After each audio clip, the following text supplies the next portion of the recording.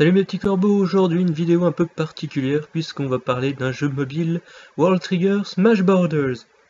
Donc c'est un jeu mobile tiré euh, du manga euh, d'Ashihara, Daisuke Ashihara euh, World Trigger, qui est peu connu en France, mais qui a un certain succès au Japon.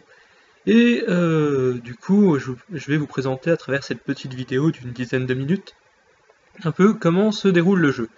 Donc, comme vous pouvez le constater, euh, un des gros problèmes du jeu, c'est les temps de chargement. Euh, on va en avoir à peu près tout le temps, et euh, c'est très très chiant. Donc voilà, donc on arrive sur le menu principal, avec, bon, comme d'habitude, sur les certaines applis mobiles, toutes les actualités, voilà. Donc, il y a également un système de récolte de monnaie et de, donc de pièces d'or, et ces petits cubes verts qu'on appelle trion, trion, qui sont l'énergie, donc pour faire évoluer ces personnages, voilà, tout ça, tout ça. Donc il y a un système de construction de base, voilà.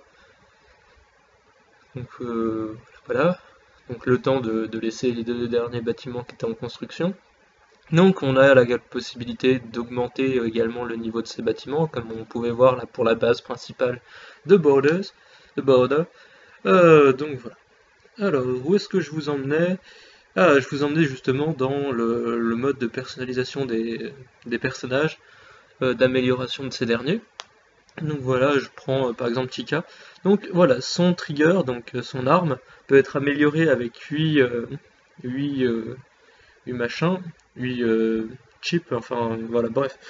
donc voilà, par exemple, ça coûte donc des points d'arme trigger. Vous avez le petit 87 en dessous de pièces d'or et euh, ça coûte des trions. Donc voilà, vous pouvez améliorer comme ça euh, l'arme de, votre personnage. Ça lui augmente également ses caractéristiques, donc sa puissance d'attaque, ses points de vie, tout ça, tout ça, sa défense, tout ça, tout ça. Vous pouvez également euh, le faire monter de niveau, mais je pense que je vous le montrerai un petit peu plus tard. Et je vais vous proposer du coup de partir en aventure. Donc vous, quand je vous disais que des temps de chargement, il y en a partout, voilà. Hein. Donc bien sûr, euh, il faut une connexion à Internet pour euh, pouvoir jouer. Donc voilà. Et euh, je vais vous montrer, voilà, on peut également avoir l'aide d'autres joueurs sur certaines maps. Donc là, je vous ai pris une map au début, donc ça doit être dans le deuxième chapitre, le dernier, je crois, ou le premier, je sais plus lequel je vous ai pris. Donc voilà. Ça fait beaucoup de voilà tout ça, mais bon, vous avez l'habitude avec moi. Donc vous avez une petite présentation comme ça d'un personnage. Enfin de, présentation de la mission. Donc voilà, vous avez vos quatre personnages. Alors, vous pouvez, lorsque vous attaquez, faire des... Euh, attaquer, voilà, taper sur plusieurs ennemis en même temps. Comme ceci. Voilà, et là, dans, le cas j'en ai détruit deux d'un coup.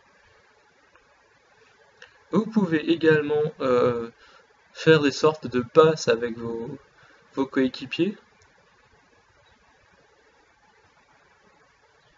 Dans cet exemple. Donc ce, jeu, ça va être un tactical RPG euh, basique, on va dire, euh, avec le fait qu'il faut prendre en compte qu'il faut que l'énergie se régénère pour pouvoir faire des missions, et voilà. Donc ça va. J'ai pas grand chose à dire. Hein, pour meubler, c'est de meubler, c'est pas facile. Donc à la limite, je peux peut-être présenter un petit peu les, personnages qui sont là. Donc on a du. Euh, les, personnages jouables, donc juste avant c'était euh, Jin Yuichi qui est un, classe S là actuellement euh, avec l'arme qu'il a. donc ça, il y a un système de classement dans, dans comment? Dans World Trigger et donc les, classements des, agents. Donc C c'est les apprentis, B c'est les agents réguliers, A c'est l'élite et S c'est l'élite de l'élite. Voilà, c'est ceux qui portent des triggers un peu particuliers qui sont des black triggers, donc des triggers euh, très très rares et euh, limités. Donc voilà. Donc vous avez vu euh, pour la mission, voilà, on récolte donc un nombre d'étoiles, on récolte de l'XP, des objets, un peu tout ça.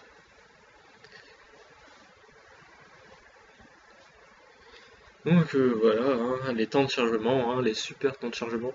Je vous, les, je vous les laisse parce que justement pour vous montrer un petit peu quand on veut faire une partie, alors en général, au stade où j'en suis, je dois être en 7 ou 8, contrairement au moment de la vidéo. Donc voilà, là il vous propose de recruter un personnage d'un autre joueur pour, plus tard.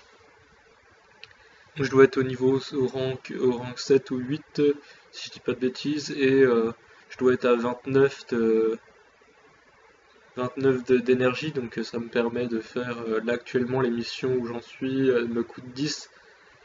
Donc euh, voilà, ça me permet de faire deux missions. Donc avec ces, missions que vous remplissez, vous allez avoir des... vous allez remplir des objectifs pendant ces missions. C'est la coupe qui est sur le côté gauche, ainsi que le cadeau à côté quand vous finissez un chapitre. Donc je vous montre un petit peu comment on construit. Par exemple, je vais construire euh, des éléments de défense. Donc c'est des, choses qui vont, qui vont m'aider pendant la bataille. Euh. Là, normalement, je vais le placer... Euh, ah, je le placer par là j'ai tout changé de place depuis la vidéo, depuis cette vidéo, du coup, je m'y perds un petit peu. bon, je l'ai mis ici, je pense que je vais décaler après... Non je vais en construire un autre Oui, je vais en construire un autre. Euh, je vous dis, euh, ça fait un moment, je vais en construire un, d'un autre type.